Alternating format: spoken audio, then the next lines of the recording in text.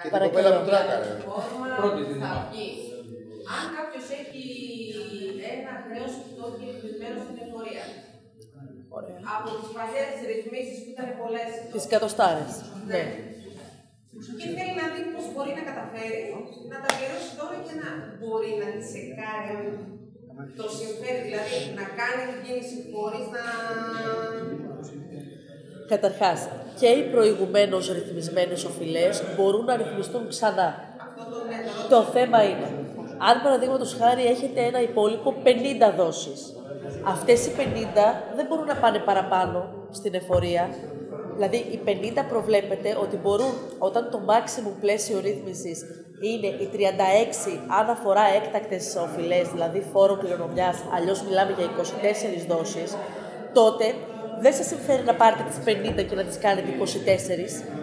Αν όμως είστε επιχείρηση ή ελεύθερος επαγγελματίας, μπορεί να σας συμφέρει να μπείτε στον εξοδικαστικό μηχανισμό Ελάτε και κοντά. μπορεί να σας συμφέρει να ρυθμίσετε τις, πε- τις, ε, τις υπόλοιπες δόσεις μέσω εξοδικαστικού μηχανισμού, γιατί εκεί μπορείτε να διεκδικήσετε 120 δόσεις. Δηλαδή μπορεί οι 50 να γίνουν 120.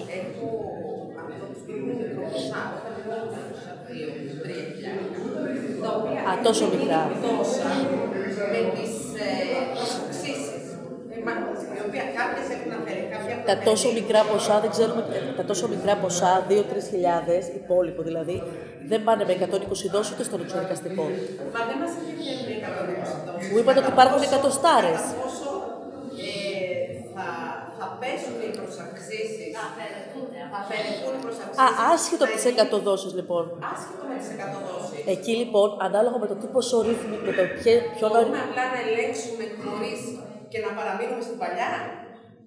Δύο λεπτά. Αυτό θέλω. Προσπαθώ να καταλάβω γιατί να φύγετε από την κατοστάρα και να πάτε να ρυθμίσετε σε 18 ή σε 30. Αυτό προσπαθώ να καταλάβω. Έχετε μία κατοστάρα που μένουν 60 δόσεις.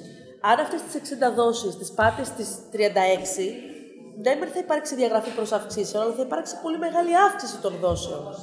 Αυτό λέω. Ναι, αλλά υπάρχουν περιπτώσεις ανθρώπου που σου λέει ναι, έχω τη δυνατότητα να δώσω κάτι παραπάνω, αρκεί να μου πέσει και το ποσό να φύγει από πάνω μου το χρέος. Εκεί θα το συνεκτιμήσετε. Θα δείτε δηλαδή. Αυτό λέω, που δίνει η πλατφόρμα το δικαίωμα Καταρχάς- να προχωρήσω μέχρι το σημείο αυτό που θα μου πει οι δόσει σου είναι τόσες και το ποσό τόσο, αλλά εγώ να μην τη συνεχίσω να την κάνω και να παραμείνω σε Α, αυτό που δεν είναι. μπορούμε να ξέρουμε. Δεν το ξέρω αυτό. Δεν γιατί το αυτό. Όχι, θα σας πω γιατί. Γιατί δεν έχει λειτουργήσει η πλατφόρμα. Εντάξει, έλεγα πως Λένε, είναι απλά αυτό μια- που λέει το Υπουργείο είναι ότι θα υπάρχει ο προέλεγχος, δηλαδή θα βάζω εγώ τα στοιχεία του φορολογουμένου και μετά θα πατάω κλικ. Δηλαδή δεν θα, βγαίνει, δεν θα κάνω υποβολή και ταυτόχρονα έγκριση των, του δοσολογίου. Όμως, αν δεν βγει να λειτουργήσει η πλατφόρμα, είναι θεωρητικό. Αυτό που μπορείτε να κάνετε είναι με βάση την δημοσίευση του νόμου που θα γίνει και την εγκύκλιο λειτουργία της πλατφόρμας με βάση τα υπολογιζόμενα ποσά. Δηλαδή, λέει, αν έχεις οφειλή μέχρι 12.000 ευρώ και εισόδημα μέχρι τάδε, εξαρτάται τώρα γιατί εκεί παίζει και στο, στο 1 ευρώ, ας πούμε, προβλέπεται αυτόματα 18 δόσεις ή 24 δόσεις, ανάλογα με την επιχειρηματική δραστηριότητα. Και στις 24 δόσεις η προσάυξη, το κούρεμα προσαυξήσεων είναι 20 με 30% η κλίμακα που κινείται. Εκεί λοιπόν μπορείτε να υπολογίσετε το κούρεμα των προσαυξήσεων εσείς και να δείτε αν συμφέρει τον οφειλέτη. Διότι οφείλω να πω ότι είμαι σκεπτικ- έχω σκεπτικισμό προς το αν θα γίνεται αυτό αυτόματα, δεδομένου ότι υπάρχει γραφειοκρατικό σύστημα στην Ελλάδα και δεν νομίζω ότι θα φτάσουν σε τόσο αυτοματοποιημένη λύση. Το θεωρώ δύσκολο να υπάρξει αυτοματοποιημένη λύση έτσι. Εντάξει, και εγώ θεωρώ ότι, το, ότι από όσοι παραμένουν σε αυτή τη ρύθμιση και πληρώνουν, δεν νομίζω ότι θα συμφέρει να φύγουν. Με- Μπροστά. Το ίδιο πιστεύω κι εγώ.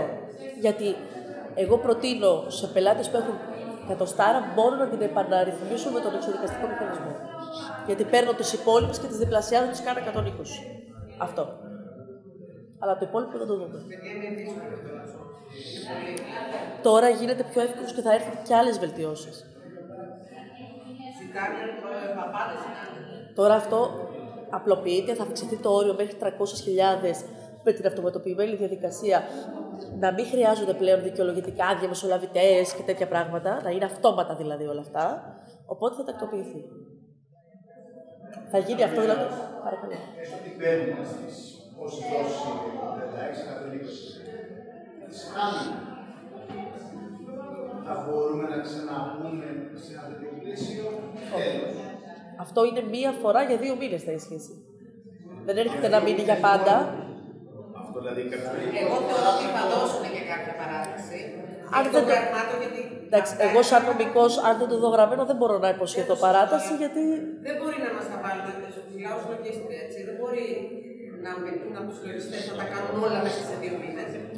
Άρα το, και, και μέσα στο καλοκαίρι και Την ε- ε- με τον ευελπιστούμε- Αύγουστο, ευελπιστούμε θεωρώ ότι όλοι. τον Σεπτέμβριο Πρέπει να το παραδείγουμε. Ευελπιστούμε όλοι ότι θα Και υπάρξει, να συγκρίνουμε από τα κριτήρια. ευελπιστούμε όλοι ότι θα υπάρξει παράταση. Όμως, εγώ επαναλαμβάνω, αν δεν το δω γραμμένο, δεν το λέω. Γιατί, γιατί ξέρω ότι κυρίως η ρύθμιση στην εφορία πέρασε από τους θεσμούς με χίλιες δυσκολίες. Δεν ξέρω λοιπόν αν θα δώσουν παράταση. Ε, η λογική λέει ότι θα δοθεί για ποιο λόγο, συγγνώμη. Ε, γιατί πέφτουν όλοι μαζί πάλι. Πέφτει η εφορία. Στο καπάκι και το έντια. Αυτό λέω. Μακάρι, αλλά αν δεν το δώσουν, μια παράταση στο ξεκίνημα της Απλά δεν χρονιάς. μπορούμε να ξεκινάμε με το ότι θα δοθεί παράταση, γιατί ο κόσμος θα πιστέψει στην παράταση και θα πάει να κάνει αυτά που πρέπει να κάνει. Βέβαια, όχι, Αυτό μετά εννοώ. θα είναι συζήτηση έτσι. Μακάρι, ποιος δεν το θέλει.